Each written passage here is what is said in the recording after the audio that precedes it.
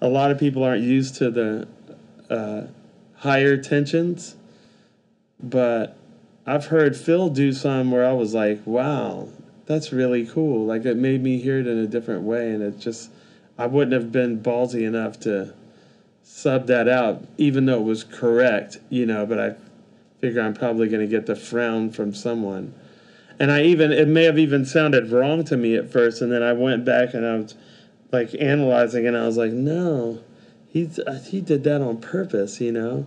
So now I'm hearing, you know, I'm trying to listen and, and hear that as a new one, you know, and hear how does that strike me, and uh, just because we're not used to something doesn't mean it's not correct or that it's not good. It's just how we define good then, and we're evolving. So.